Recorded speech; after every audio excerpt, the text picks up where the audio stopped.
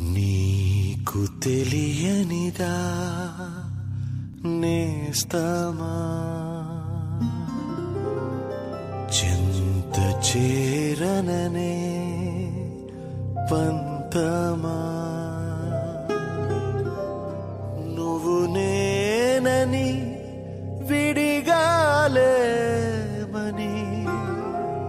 ఈ నా శ్వాసనీ నిను నమ్మించని.